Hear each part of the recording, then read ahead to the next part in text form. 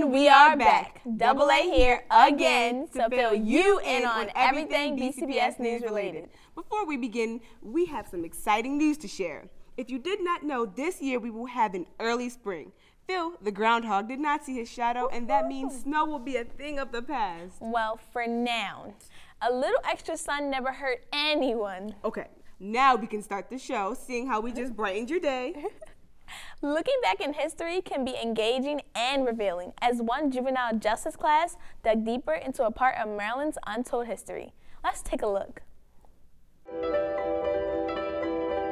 The history of Maryland lynchings are not known by many. In 1885, a teenager was hung right in front of the old Towson jail after he was accused of assault and rape. Now, historian Jennifer Lyles visited grade 8 students at Loch Raven Technical Academy who are taking a juvenile justice class. Working with the Maryland Lynching Memorial Project, who produced a short film, wanted to share their research of his death. Howard Cooper was lynched at the Towson jail in 1885 after being accused and uh, committed to the jail for the rape and um, assault of Katie Gray. Um, he and Katie Gray both deny that she was raped by him, but that an assault did occur. He was awaiting his appeal um, papers to be filed for a Supreme Court appeal for the violation of his 14th Amendment. Um, a mob showed up that had been following him uh, since the beginning of the crime accusation and pulled him out of jail and lynched him to a nearby tree. Couldn't imagine how he was feeling at that time, having something around his neck being dragged out of a jail cell. And then to put the cherry on top when she revealed that he was actually 15 years old, I was very like, I was shocked and like I couldn't imagine and not having a familiar face to look at while he was being hung was just like like I couldn't imagine the pain that he was going through. What we are hoping for is not only to bring this to the public attention, but to help people understand how it continues to influence us, why it's important to address. You know, Brian Steven talks a lot about truth and reconciliation, and he says that truth and reconciliation are sequential. You can't have reconciliation until you know the truth. So we feel it is our job to try and make sure that people know the truth, acknowledge it, even though it's very difficult.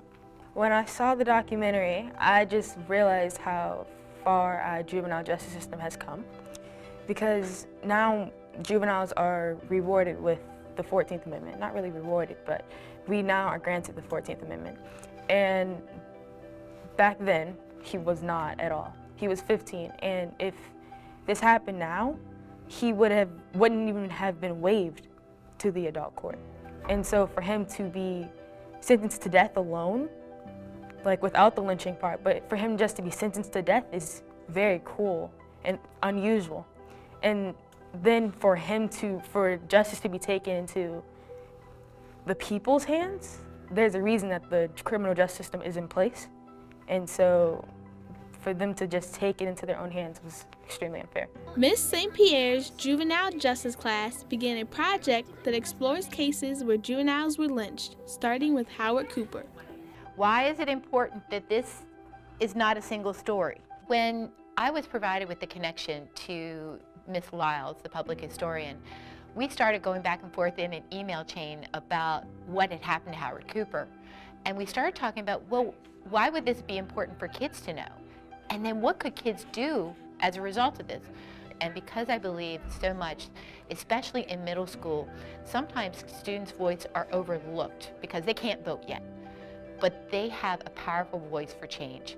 They believe the change is still possible and that's what's powerful. These middle school students are working on a presentation to share with other American history classes, while other students are working on different ideas that will go in the memorial and they are writing a letter to a legislator to see if they can get his conviction exonerated. I think it's helpful for other people to see how inhumane that our culture has been. And I think it's really important that we dig deeper and that we really see how unjust society was back centuries ago and how like it relates today. Like back then it was it was lynching, now it's police brutality like everything really connects and it's important to learn from the mistakes from the past and to connect them to today.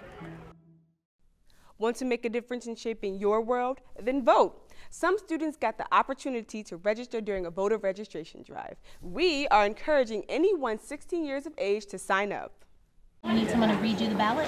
Okay. So today we're with the Social Studies Honor Society here at Pikesville and we're having a voter registration drive. So that includes getting kids 16 and up who want to vote, maybe not in this election, but the next one, and just getting that through. So what they can do is they take a pass, come down to the library, and register to vote.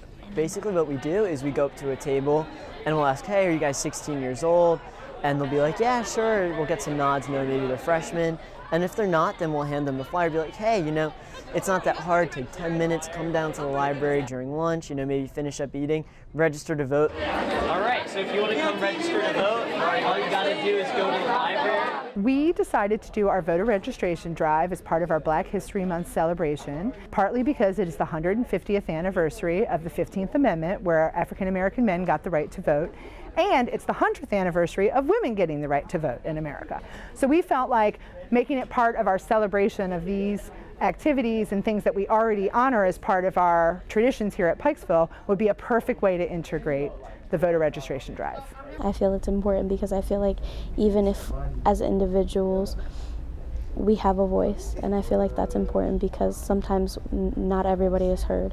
I'm really excited to be able to promote this event as a way to um, just remind students that the right to vote is a result of major sacrifices of people who came before them, not something to be taken for granted.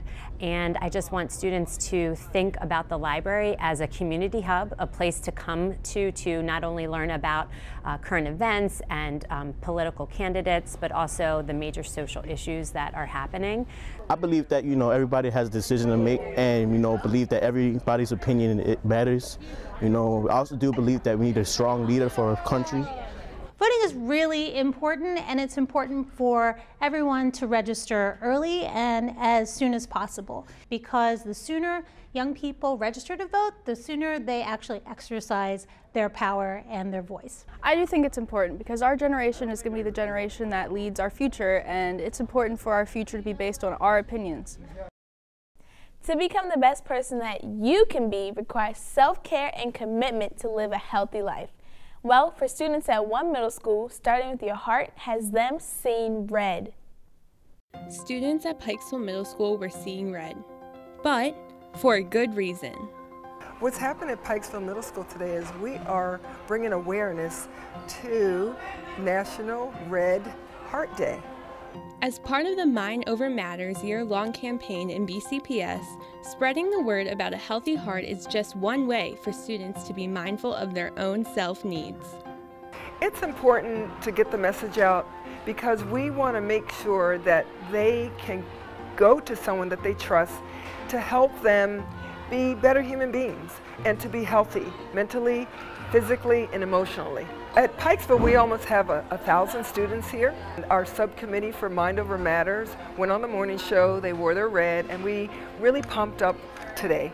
And we were so excited. Students were coming up to us saying, hey, I want to make sure that, hey, I'm going to be asked questions and I will want to participate. So they wore red. They came in the door, hey, Miss Banks, I got red on today. So the message did come out loud and clear. And that message resonated personally for one student as she brought awareness to her peers when it comes to matters of the heart. The Heart Healthy Mind Over Matters is important to me personally because my father had heart problems, very bad heart problems, and he was in and out of the hospital a lot.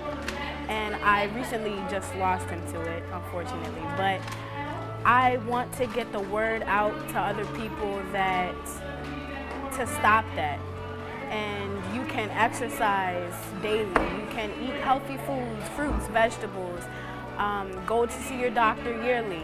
Just things like that so at a young age you can prevent from getting it at an older age. And so every lunch, um, me and a few of my peers are going around to tables, asking questions about, you know, how can you prevent heart disease, Today I want them to be aware that eating healthy is important, so we can uh, reduce the amount of heart attacks that are around our nation and that to go home and tell the parents that they participated in a wonderful program, they learned about having a healthy heart and what foods to eat and exercising and just being physically fit so they can have a healthy heart. Another way to stay heart healthy is dancing. We got the opportunity to highlight a range of dance styles from ballet to ballroom to contemporary at the recent Student Choreography Showcase. For this event, we're celebrating our student choreographers in Baltimore County Public Schools. The event is called the BCPS Student Choreography Showcase. We have 10 middle and high school dance programs at Patapsco High School and Center for the Arts. They spend the day in master classes with Clancy Works Dance Company where they learn about choreography and improvisation and various styles of dance. And then in the evening, they put on a showcase of student work, student choreography for the public. The name of the dance I did today is called Ready for War. And what inspired me is I always have problems of choosing life's choices and how the song is calling us to go to the tree. And if we go to the tree, that's a bad life choice. And if we walk away, that's a good life choice. So it's about struggling. Dance has helped me through middle school by being helpful with things and making people want to look up to me and letting them know they can do whatever they want if they just put their mind into it. My choreographed dance was Laces. Um, it inspired me the relationships that many teenagers have in high school, along with having fun and doing something different. It's a hip hop piece, and we have when you many people when they do hip hop dances, they have shoelaces and they also have fun. So the love laces that we have with one another and the laces in your shoes kind of connected. It was an idea that I came up with to do something fun. One thing that's great about this um, event is that the students are able to be expressive, to have a voice, and they do that um, through movement. So they take emotion and story and narrative and things going on in their life and they bring that to life through their dancing and through um, the movement that you see on stage. It connects heavily with the music and makes a powerful experience for the audience. We feel like we understand what's going on with the students. We get a little more of their expression and their, um, their performance when they are using their own voices on stage. Dance has been something that has motivated me to wake up the next day and it's a relief. It's a space that I can go into and I can let all my stress out, all my schoolwork, all my college work. It's just, I can be myself and all worries go away. I can just release my energy in it. Has helped me that way.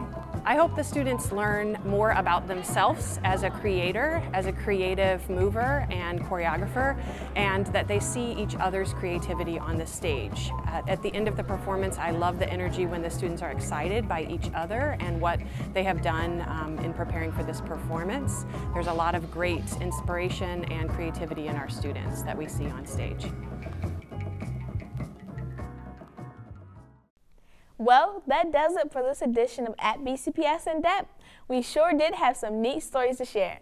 If you have any story ideas, comments, or suggestions, contact us at bcps-tv at bcps.org. And follow us on Facebook, Twitter, and with the BCPS Now mobile app. Until, Until next time, I'm Amani. I'm Iana. Thanks, Thanks for, for watching. watching.